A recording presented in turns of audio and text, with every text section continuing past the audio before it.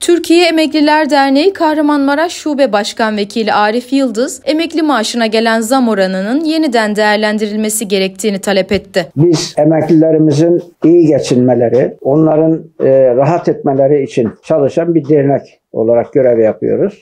Derneğimizin şu anda 12 bin civarında üyesi var. Bu üyelerimiz adına ben konuşuyorum şu anda. Emekliler için bir zam yapıldı. Biliyoruz ki %37.57'lik piyasa artışı var. Buna Sayın Cumhurbaşkanımız 5 puanlık bir e, artış yapmak suretiyle, iyileştirme yapmak suretiyle bunu %42.6'ya çıkarttı. Biz biliyoruz ki 7500 lira maaş alan kişiler dahi e, 10 bin lira maaş alacaklar. Kahramanmaraş'ta emeklilerimizin çoğu e, kirada oturuyor. Ev kiraları sobalı evler 5 bin liradan aşağı değil. 5 bin lirayı kiraya verse en az 3 kişilik bir ailedir emekliler. Dolayısıyla 3 e, kişiye 5 bin lira bir ayda e, gider olarak yetme, yetme. Hele hele şu kış gününde yakıt parası, efendim elektrik, su ve e, gıda harcamalarına imkan yok.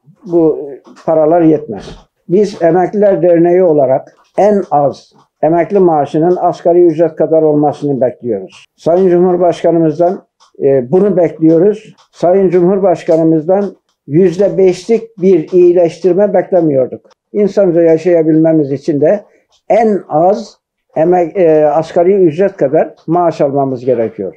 Bunu devlet büyüklerimizden, Sayın Cumhurbaşkanımızdan bekliyoruz. Cumhurbaşkanı Erdoğan, SSK ve Bağkur emekli maaşlarının Ocak 2024'ten itibaren %42,6 ve ilave %5 oranında yükseldiğini açıkladı. Çok az oldu. Emeklilere gerçekten hiç iyi bakılmadı. Köyde yaşayana yeter ama şehirde yaşayana biraz zor. Vallahi fazla bile. Ben olsaydım 5 bin lira verirdim. Niye? Niye? Çünkü bu millet bu Cumhurbaşkanı'nın arkasına düştü gidiyor. Her yaptığı işi onaylıyor. Bunu da onaylamak zorunda. Hiç çok böyle, çok fazla bizim gibi insanlara. Ben Hiç yir, memnun değilim. 20 yıldan beri AK Parti'ye 20 yıl oldu geleli bunlar. 20 yıldan beri veriyor. Haram zehir zıkkım olsun verdiğim ben. En az 12 bekliyorduk. O da olmadı. Ne 12'si? 12 ile acımdan 12, 15. Ya 12 bu ay yani Temmuz'da 15 olur diye bekliyorduk. Yeterli tabii. Yeterli bence yeterli. Enflasyonu ayarlıyorlar yani. Bana bana göre böyle yani. Enflasyonu ayarlıyorlar. Yeterli yani. Sağ olsun devlet. Sağ olsun. 17 bin alayım ama boş. Düşüncem şu benim. Milletvekilleri 40 alsın biz 10 alalım. Değil mi? Bizim 4 katımızı alsınlar. Bir insan değil miyik? Memurla biz aynı markete girmiyor mu? Yetersiz tabii yani. Ev kirası 12-13 bin lira. Çok yeterli. Çok da güzel yani. Daha ne olacak? Ben emekli oldum. Daha yeni oldum. 10 milyar maaş veriyor. Çok çok güzel yani. Allah Tayyip'ten razı olsun. Plak sorunundan geçineyim, herkesten de iyi geçineyim. Yok yeterli değildir. Bugünün şartlarında hiç de yeterli değildir. Beklentiniz neydi peki? Beklentimiz %50'nin üstünde olacaktı. Niye hiç yeterli değil? Tabii ki yetersiz yani yeterli mi? Ben 3250 lira aldığım zaman da 1,5 milyara kirada oturuyordum lüks dairede. Şu anda 14-15 milyar lira. Ben nereden alacağım kalanını? Yeterli tabii yani niye yetersiz ki? Sayın Mehmet Şimşek bizi kesti bıraktı. Çünkü bize dedi ki 5 bin lira verirsek bütçeye kikleniyi dedi. Ama kendisi bak bakanlıkta maaş alıyor, emekli oldu maaş alıyor, bir de partide maaş alıyor. Üç yerde maaş alıyor. Ekonomi tıkanmıyor da bana vereceği 5 bin liraya tıkanıyor. Vallahi yetmez ya. Vallahi yetmez. Şu zamda her şey yetmez. Her şey çok pahalı ya. Kendilerine verin mi? Hem geçine verecek mi? Hem kirada hem evini mi geçindirsin? Çocuğuna mı baksın? Kira mı versin 10 milyardan? Emekli ne yapsın ondan? Yetersiz tabii ki. Yetmez. Yetmez. Yetirmeye çalışacağız ama yetmez ama yetirmeye çalışacağız. Yani biraz daha yüksek olması gerekirdi.